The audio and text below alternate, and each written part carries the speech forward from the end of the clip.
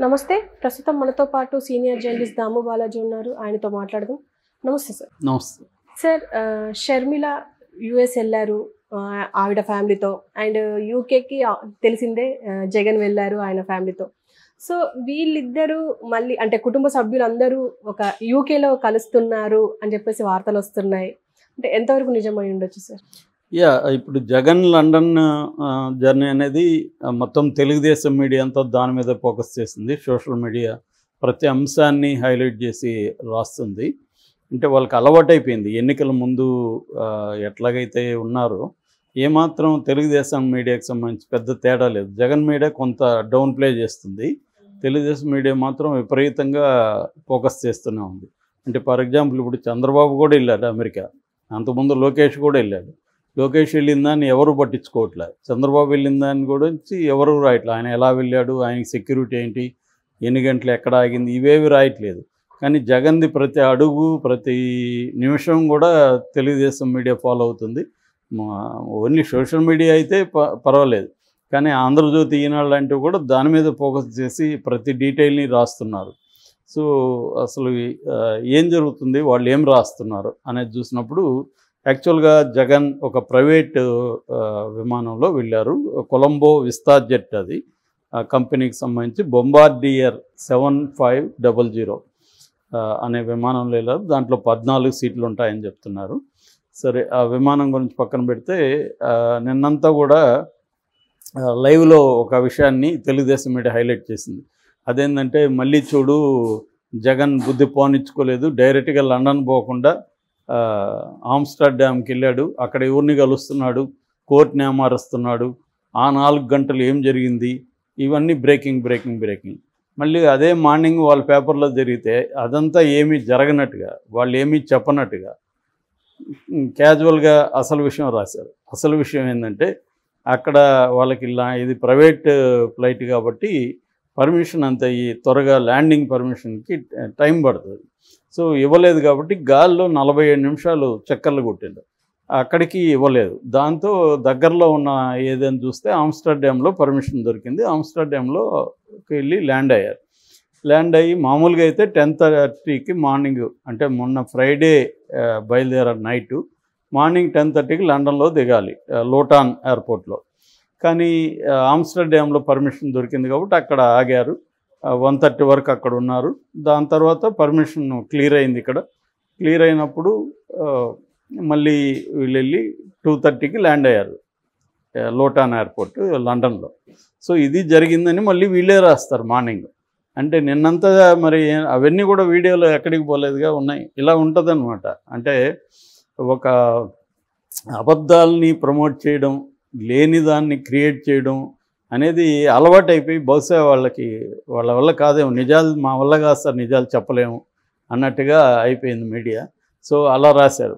దాని సో దాని తర్వాత ఏమో అక్కడ సెక్యూరిటీ వెళ్ళారు. తర్వాత అక్కడ ఇప్పుడు లండన్లో ప్రతి దేశంలోనూ రెండుగా విడిపోయి ఉంటారు అక్కడ ఉన్న వాళ్ళు కూడా. కొంతమంది వైసీపీ కొంతమంది తెలుగుదేశం.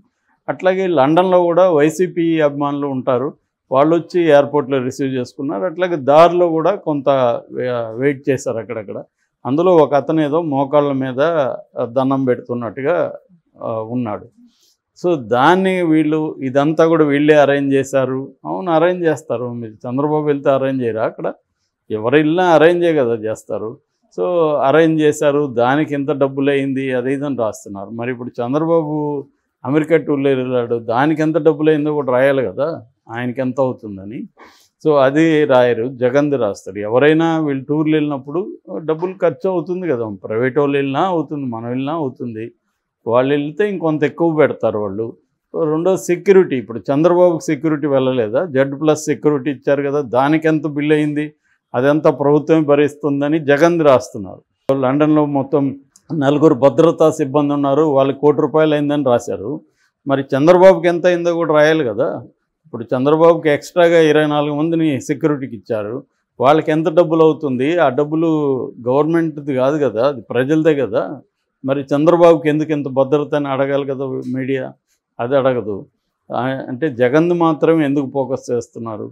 సో ఇది ఏంటంటే ఇంకా వీళ్ళు జనాల్ని వెదవాలనుకుంటారా లేకపోతే బ్రెయిన్లెస్ అనుకుంటారో తెలియదు సో ఇది రాస్తున్నారు. తర్వాత ఫ్లైట్ ఖర్చులు ఇంత ఖర్చు పెడతాడా అని మామూలుగా అయితే ఖర్చులు రాయచ్చు తప్పులేదు ఎంత అవుతుందో జనాలకి తెలిస్తే మంచిదే. మనం ఇప్పుడు డబ్బు ఉన్నవాళ్ళు ఫ్లైట్ సపరేట్గా వేసుకొని వెళ్తే ఎంత అవుతుంది అనేది మంచిదే. ఈ- ఈ ఫ్లైట్కి వచ్చి గంటకి పన్నెండు లక్షలు అవుతుందని చెప్తున్నారు. దాన్ని ఒక ఆంధ్రజ్యోతి పత్రిక డీటెయిల్గా బ్రేక్ డౌన్ చేసి ఇచ్చారు. ఇది ఎంత నిజమో తెలియదు వాళ్ళు చెప్తున్నది ఏమంటే మామూలుగా ఫ్లైట్లో పోతే ఇరవై ఐదు వేల నుంచి యాభై ఐదు వేలకు అవుతుంది. జనరల్ క్లాస్ అయితే ఎకనామీ అయితే ఒక లక్షన్నర నుంచి రెండు లక్షలకు అవుతుంది. ఫస్ట్ క్లాస్లో పోతే మూడు లక్షలు అవుతుంది. అంటే ఫస్ట్ క్లాస్లో పోయినా కూడా ఎంత అవుతుంది అనేది ఒక లెక్కేశారు ఫస్ట్ క్లాస్లో ఎందుకు పోతారు? ఇప్పుడు పిఠాపురంలో జ్వరం వస్తే ఫ్లైట్ వేసుకొని పవన్ కళ్యాణ్ ఇక్కడికి వస్తాడు హైదరాబాద్కి. ప్రత్యేక ఫ్లైట్. ఒక జ్వరానికి ఆయనకి ఎంత ఖర్చు అయింది ఎవరైనా బ్రేక్ డౌన్ చేస్తున్నారా వీళ్ళు? జ్వరానికి అక్కడే చూపించుకోవచ్చుగా. పిఠాపురం ఉంది పక్కన రాజమండ్రి ఉంది అటు పోతే విశాఖపట్నం ఉంది. అక్కడ దగ్గరలో ఆయన చూపించుకోవచ్చు ఎందుకు ఫ్లైట్ వేసుకొని ఇక్కడికి వచ్చి మళ్ళీ మూడు సార్లు నాలుగు సార్లు వారంలో పోయాడు?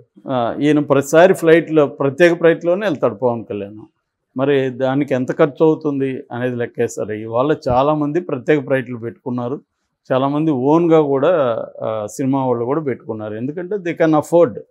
ఎకనామీ అనేది మారిపోయింది ఇవాళ. చాలామంది ప్రైవేట్ ఫ్లైట్లు పెట్టుకుంటున్నారు.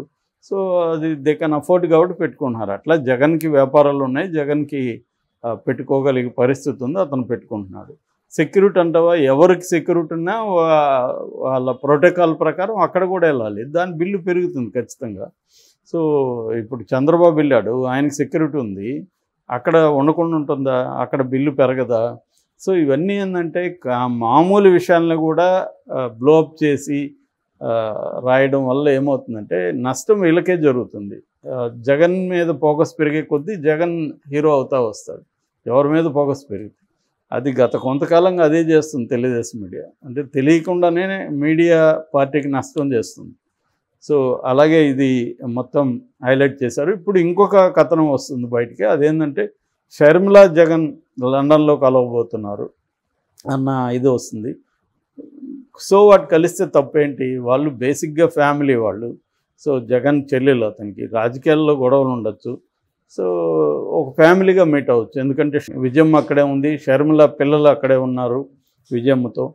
సో అట్లాగే జగన్ పిల్లలు అక్కడే ఉన్నారు. సో ఈ రెండు కుటుంబాలు కలిసి కొన్ని రోజులు గడపచ్చు. ఎందుకంటే వాళ్ళకి ఇక్కడ కుదరదు. జనరల్గానే చాలామంది ఏంటంటే ఫ్రెండ్స్ కూడా ఇప్పుడు సెలబ్రిటీ వాళ్ళు కలవాలంటే కూడా విదేశాల్లోకి వెళ్తారు ఎక్కువ. ఆ మధ్య కూడా మా ఫ్రెండ్ ఒక సంఘటన చెప్పాడు ఆస్ట్రేలియాలో.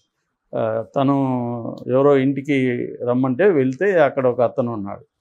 మిమ్మల్ని ఎక్కడో చూశాను సార్ అన్నాడు మా ఫ్రెండ్. ఎందుకంటే మా ఫ్రెండ్కి తెలియదు సినిమా ఇండస్ట్రీ గురించి తెలియదు ఆస్ట్రేలియాలోనే ఉంటాడు అతను.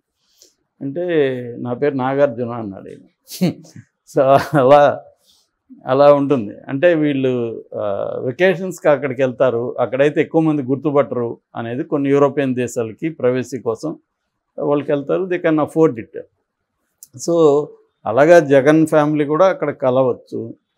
దానికి సంబంధమే ఉంది సో కాకపోతే ఏంటంటే దీని నుంచి డెరివేషన్స్ జగన్ రాహుల్ గాంధీ టచ్లోకి వెళ్తున్నాడు. వీడియో కాల్స్ చేయబోతున్నాడు షర్మిలాతో కలిసి. ఎందుకంటే అక్కడ ఇప్పుడు సెంట్రల్లో బీజేపీకి సొంతంగా గవర్నమెంట్ ఫామ్ చేసే మెజార్టీ రాదని ఎక్కువగా వస్తున్నాయి విశ్లేషణలు. ఎన్నికలు జరిగే కొద్దీ ఒక్కొక్క ఫేజ్ అయ్యే కొద్దీ బీజేపీకి తక్కువ తగ్గిపోతుందని వస్తుంది. ఆ టెన్షన్ అయితే కనబడుతుంది అమిత్ షా అండ్ మోడీ దాంట్లో. ఆ కాంటెక్స్లో ఒకవేళ రేపొద్దున కాంగ్రెస్ ప్రభుత్వం అక్కడ కాంగ్రెస్ ఆధ్వర్యంలో ఇండియా కూటమి వచ్చే అవకాశం ఉంటే అప్పుడు నిజానికి వాళ్ళకి అవసరం జగన్ జగన్ కంటే కూడా. ఎందుకంటే జగన్కి రేపు సీట్లు వస్తే వాళ్ళకి వాళ్ళే అప్రోచ్ అవుతారు నిజానికి.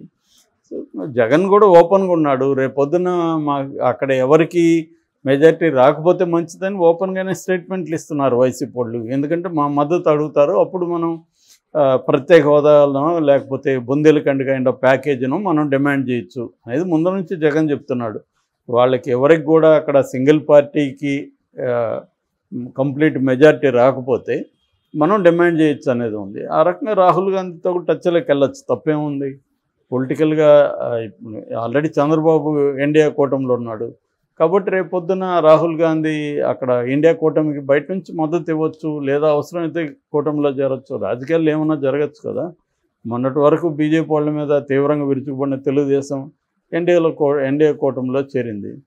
కాబట్టి ఇవన్నీ మామూలే.